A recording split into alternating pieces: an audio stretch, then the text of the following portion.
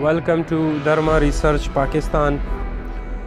We are with the Ashoka Rock edicts that are situated on the Silk uh, Road for the masses uh, to read it. There are 14 rock uh, edicts on these rocks in Kharoshti script. King Ashoka has mentioned neither his name nor the world of Buddha. He addressed his masses. So, the beloved of God's king, the king of noble appearance, Devanam Priya Priya Darshan. So, the 14 points uh, that I have summarized uh, for, for the Buddhist community so that they understand it easily and clearly. The point number one is the king prohibits that no living animals should be slaughtered, sacrifices, or killed. The point number two is I have built hospitals both for animals and humans. I dug out wells and planted trees for the benefits of human. The point number three announces the government officials are directed to take care of Buddhist faith and see that it is in progress. Everyone should respect their parents, must be kind, tolerant, and be kindness to the animals.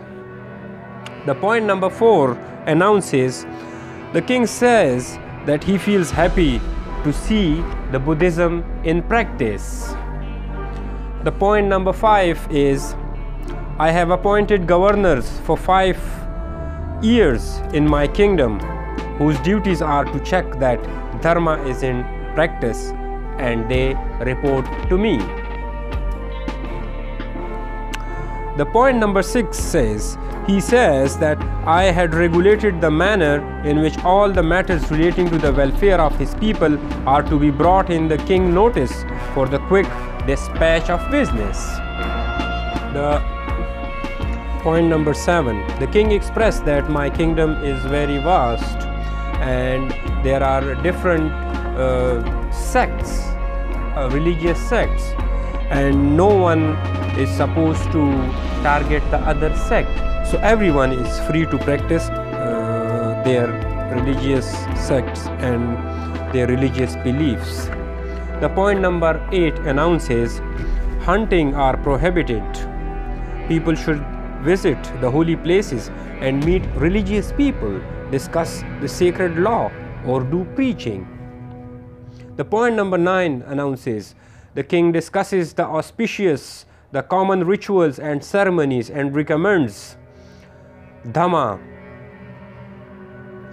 Dhamma Mangala, Dhamma Madana, and Dhamma Yatra.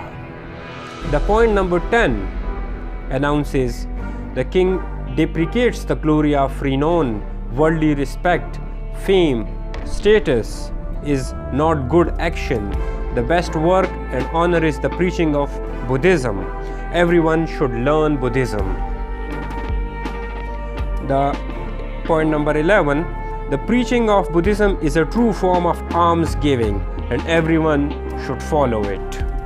The point number 12 the king says that in my country there are many people who believe in different religion. No religious party group or sect is allowed to abuse others. Everyone should live in tolerance. The point number 13 the king mentioned the name of his contemporary kings like Antiochus of Syria, Ptolemy Philadelphus of Egypt, Magas of Cyrene, Antigonus Gonatas Theos of Macedonia, and Alexander of Epirus. And the 14 number point, the last edict is the epilogue of all edicts. And this whole inscription is copied from an authentic official copy which was issued by the king.